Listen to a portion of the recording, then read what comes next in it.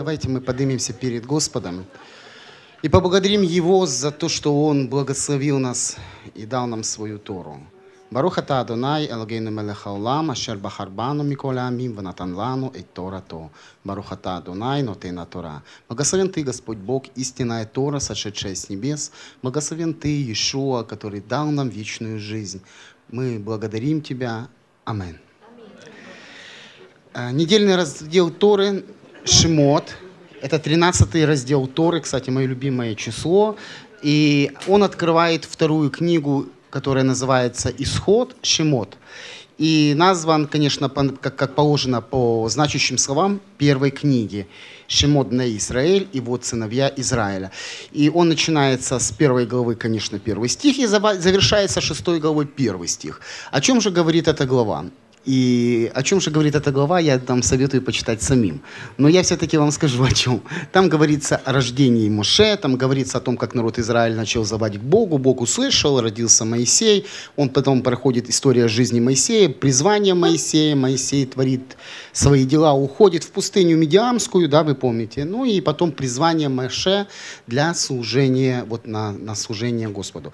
Глава очень интересная, и можно, можно там действительно много чего интересного перед тем, как, как готовиться к этой туре, я просмотрел буквально всю туру, которую, ну, которую комментировали наши братья вот, в течение, вот именно в нашей общине за определенный период времени. Вы знаете, интересно. Очень интересно. Причем каждый видит какой-то нюанс со своей стороны. Поэтому но я, опять же, буду говорить со своей стороны, я буду комментировать, я не буду конкретно говорить по стихам. И я хочу поговорить о призвании Божьем. Как люди мы склонны идеализировать других людей.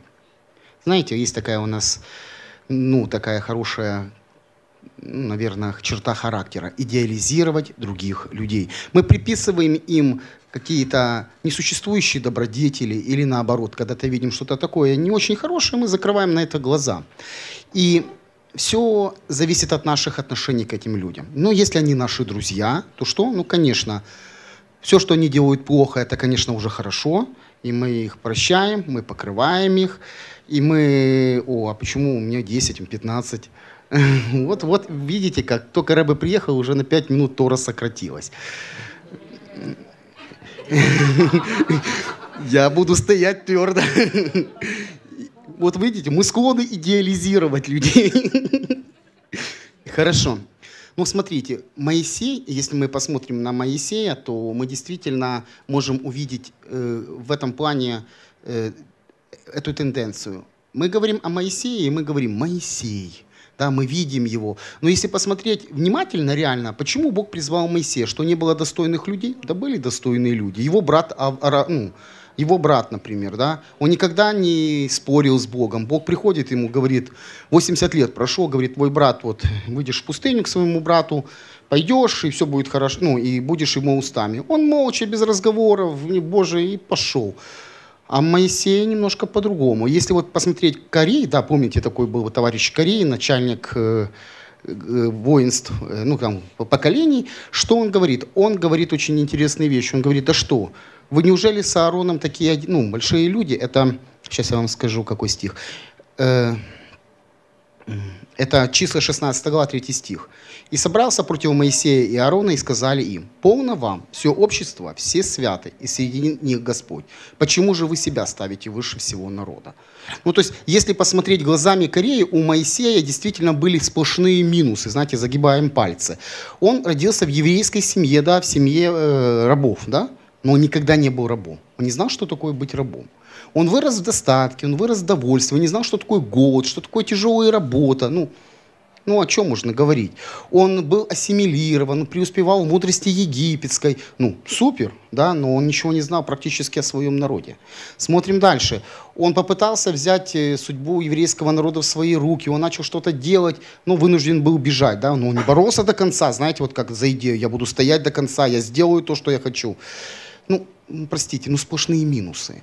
Потом 40 лет он живет у Моис... в доме своего тестя, и что? У него ничего нет. Он пасет овец своего тестя. То есть вспомните его Якова, да? 17 лет, и он мало того, что две жены, 12 детей, плюс, плюс э, сам богатый стал, еще и тестя сделал богатым. А тут вообще ничего, ну минусы сплошные. Ты смотришь на него, и ты понимаешь, что э, ну, человек вроде бы, ну, как бы и недостоин бы как бы призвания Божьего. Ведь у нас есть пред, ну, представление, что человек должен быть успешен. Он должен быть сплошным позитивом. Смотришь на него и говоришь, да, я хочу. Вот смотришь и говоришь, ну да, вот этот парень, наверное, должен быть. А Моисей, ну, Моисей, ну, что ты тут делаешь?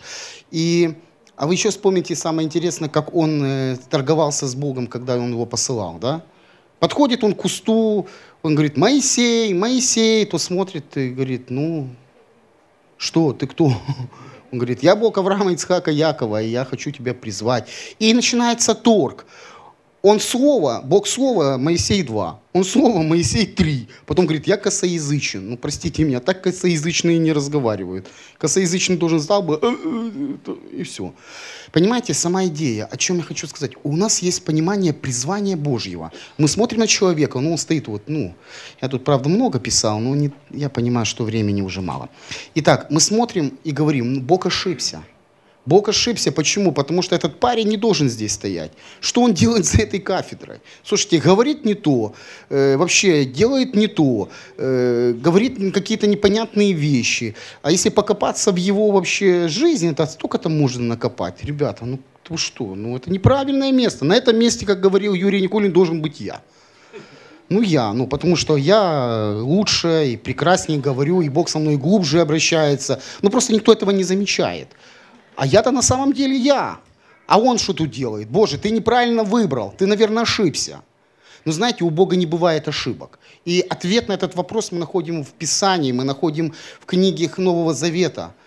И Ребе Шауль говорит, Бог избрал не мудрое мира для чего? Чтобы посрамить мудрое мира сего. Он избрал ничего не значущее, чтобы посрамить значущее мира сего, чтобы никакая плоть не могла превозноситься перед Богом.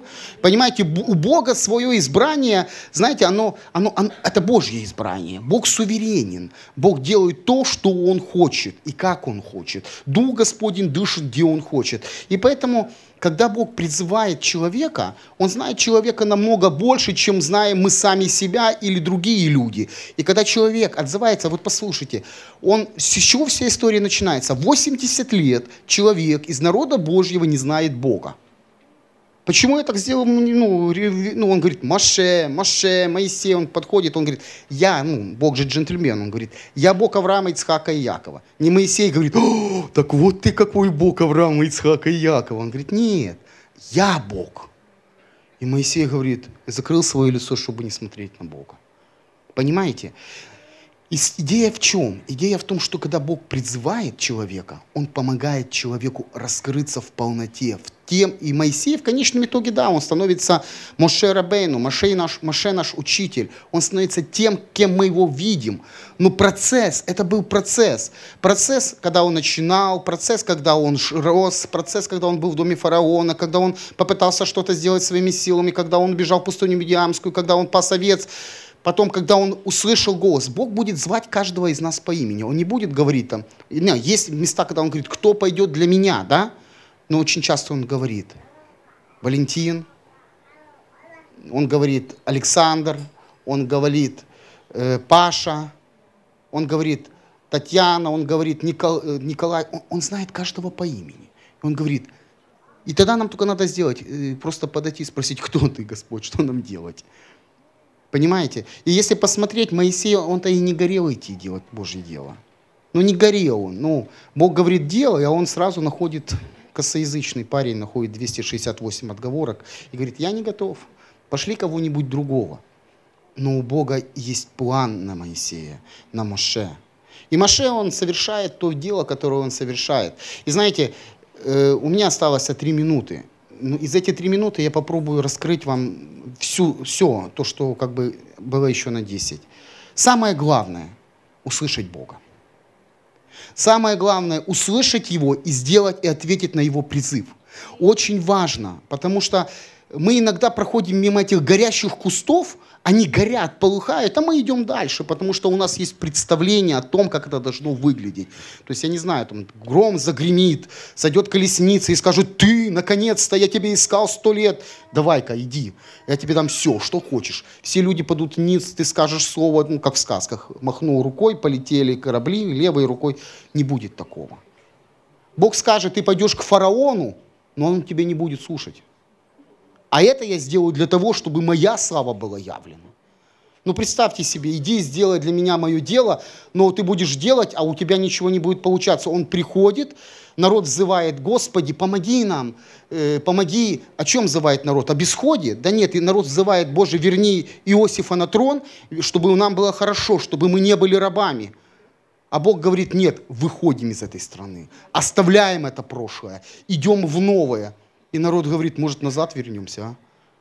Моисей, ты что делаешь? Нам было хорошо. Нам было прекрасно, нам было супер, а ты взял нас, они забыли, что они были рабами, они забыли трудности. Понимаете? Поэтому, если вас призывает Бог, и вы идете за Его призыв, не думайте, что все будет легко. Вам придется платить цену. Бог будет шлифовать вас, Бог будет изменять вас, Бог будет делать вас в свое образ и подобие. Не будет такого, да будет воля моя, как твоя, не твоя, как моя да будет моя воля на земле, как твоя на небе. Моя ну, не, не получится. Богом нельзя управлять. Или ты играешь по его правилам, или ты проходишь мимо горящего куста. И тогда ты не удивляйся, что на месте вот этого куста, ну, на месте, э, на кафедре будет другой человек, что кто-то будет делать твое дело, и ты будешь говорить, ну, это, на этом месте должен быть я. Должен. Но будет другой, кто ответит на призыв, кто заплатит цену. Это хороший, хороший пример для нас. Потому что если мы, что мы ищем, кого мы ищем, что мы хотим сделать. Бог призывает каждого из нас. Написано, что мы призваны в Его благодать. Мы призваны по Его изволению. И нам нужно просто ответить. И быть готовыми платить цену. Платить цену даже когда люди будут отворачиваться от нас, люди будут не слушать нас, люди будут улыбаться, глядя, как мы что-то делаем. У них, конечно, будет свое мнение, но послушайте, есть Бог и есть вы. И Моисей, он является хорошим примером для каждого из нас. Вы знаете, через, спустя время родился в Бетлехеме, родился младенец. И не было в нем ни вида и ни величия. И пришли пастухи, они услышали, что родился царь иудейский, родился спаситель. Они пришли, там ребенок лежит, младенец, он еще, наверное, был мокрый от, от мамы. И что? Они сказали что-то. Они радовались, небеса радовались. Прошло время, Иешуа висел на кресте. И все кто-то смотрел и думали, ну ничего себе, ты должен был спасти нас, и что с тобой произошло? Послушайте, но Он явил величие спасения. Он воскрес, и мы сейчас результат Его служения. Поэтому хочу вам сказать, отвечайте на Божьи призывы, не бойтесь, во имя Ишуа. Господи, благослови нас быть открытыми к Тебе, благослови нас слышать Тебя, благослови, Боже, отвечать, Боже, на Твои призывы. Боже, пусть Твоя благодать и милость для каждого из нас, она будет явлена каждому. Мы нуждаемся в Тебе. Мы не хотим, Боже, проходить мимо кустов горящих. Мы хотим быть теми, кто отвечает. Мы хотим, хотим быть теми, кто действительно, кто действительно является, как написано, мужем по сердцу Твоему. Аминь.